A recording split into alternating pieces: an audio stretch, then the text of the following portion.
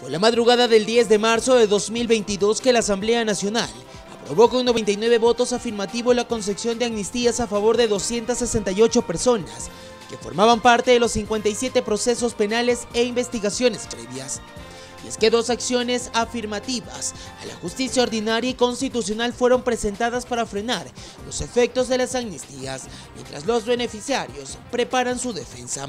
En ese mismo día el Pleno Legislativo se reconsideró con la votación que se reafirmó en la aprobación de amnistías.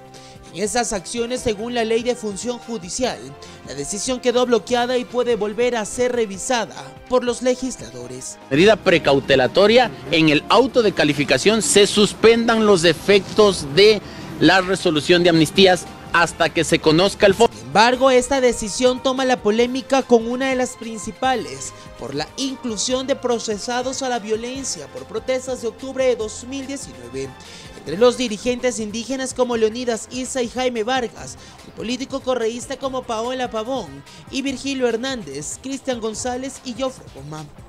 Pero además entre las amnistías se mezclaron casos de otros delitos, como tráfico de tierras o minería ilegal, que no son los delitos políticos o conexos en los casos políticos. Este momento está en firme, no hay nada que hacer. Más bien vamos a avanzar presentando otra lista de compañeros criminalizados por octubre 2019, por octubre 2020 y también por los criminalizados en los territorios una acción de protección ante la justicia ordinaria y una acción pública de constitucionalidad ante la Corte Constitucional se presentaron en los últimos días con el objetivo de que ambos recursos se frenen los efectos de la resolución en la Asamblea Nacional.